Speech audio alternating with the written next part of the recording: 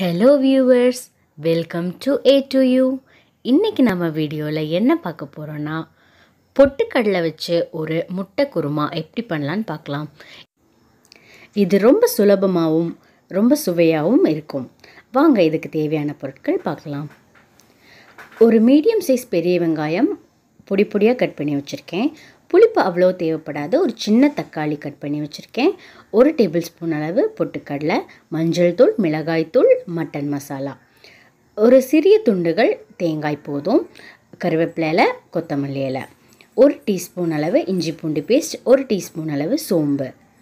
தேவையான அளவு உப்பு மூணு முட்டை ஒரே ஒரு பச்சை மிளகாய். காரம் அதிகமாக வேணும்னா இன்னும் ஒரு பச்சை மிளகாய் சேர்த்துக்கலாம்.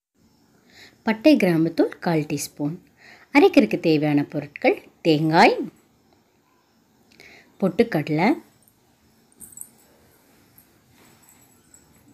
இது கூடவே மல்லி இலை கருவேப்பிலை மஞ்சள் தூள் மிளகாய் தூள் மட்டன் மசாலா.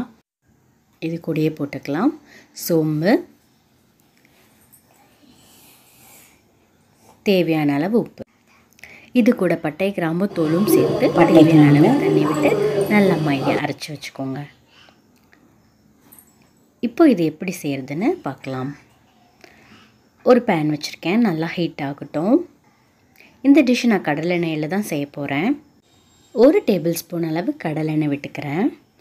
ஆயில் நல்லா ஹீட் ஆனதும் கட் பண்ணி வச்சுருக்கிற வெங்காயம் சேர்த்துக்கலாம். வெங்காயத்து கூடவே கருவேப்பிலையும் சேர்த்துக்கலாம். இது கூடவே கொஞ்சமாக உப்பும் சேர்த்து கலந்து விட்டுக்கோங்க. இதில் ஒரு பச்சை மிளகாவும் சேர்த்துக்கிறேன்.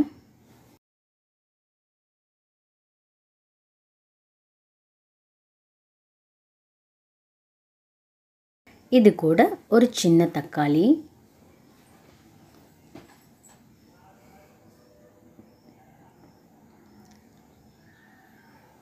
தக்காளி நல்லா மெல்ட் ஆனதும் ஒரு டீஸ்பூன் அளவு இஞ்சி பூண்டு பேஸ்ட்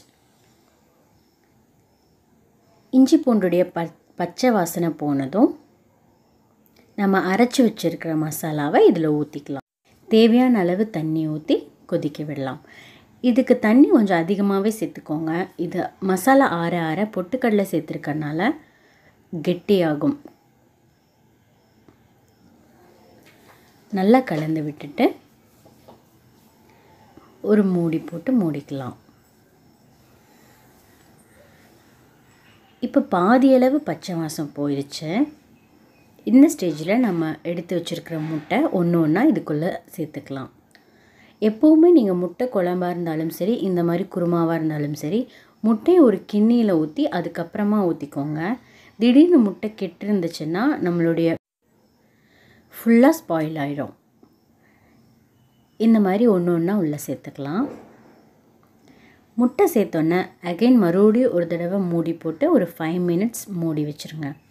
முட்டை சேர்க்கறதுக்கு முன்னாடியே உப்பு சரி பார்த்து பத்தலைன்னா மறுபடியும் கொஞ்சம் உப்பு சேர்த்துக்கோங்க. இது மேலே கருவேப்பிலை கசக்கி விட்டு தூவி ஒரு ஃபைவ் மினிட்ஸ் மூடி வச்சிடலாம் ஃபைவ் மினிட்ஸ்க்கு அப்புறமா முட்டை நல்லா வெந்திருக்கு. குருமாவும் இந்த கன்சிடென்சியில் கிடச்சிருக்கு. இது ஆற ஆற இன்னும் கெட்டியாகும். அவ்வளோதாங்க மல்லி இலைகள் தூவி சர்வ் பண்ணிடலாம். இந்த டிஷ் உங்களுக்கு பிடிச்சிருந்ததுன்னா செய்து பாருங்கள் நல்லா இருந்ததுன்னா லைக் பண்ணுங்கள் இந்தாங்க. நல்லா இருக்கா?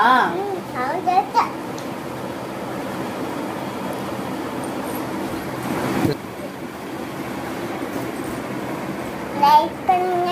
ஷேர் பண்ணுங்க பில்லுங்க